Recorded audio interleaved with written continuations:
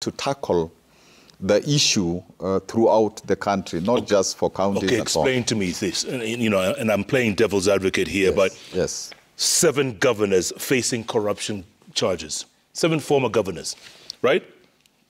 From Daniel Waithaka to Onesimus uh, Muthomi- Njuki, Ferdinand Waititu, Okoth Obado, uh, Moses Lenolkulal, Evans Kidero, Mike Sonko. Yes. All of them facing corruption charges. Those are seven out of 49. Out What, of what is that percentage? Out of 47. And let me tell you another thing.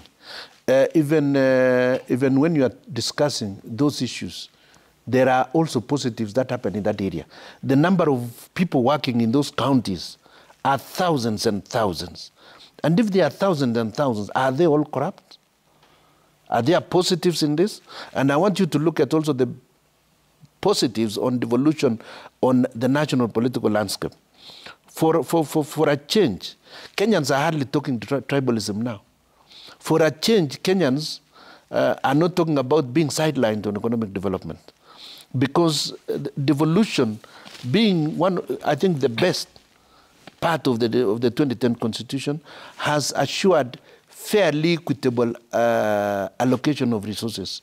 And I want to urge you to look at the spending in those counties. I know there are problems. For example, the, the issue that has that bedeviled the national government, the capture on uh, procurement. Uh, we, we also have to fight the capture of procurement at the county level, whether by, count, by, by officials of the county or by cartels within the counties. But nevertheless, if that money could be spent at the ward level, at the project management level, vijana wataanza kuwa na ujuzi.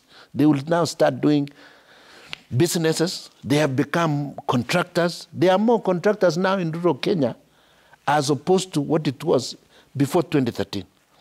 You will find young people coming straight from work, and within a year or two, they are okay generally. And there is spending from around there.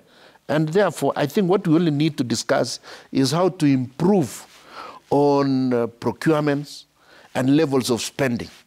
Eh? Prof, you agree?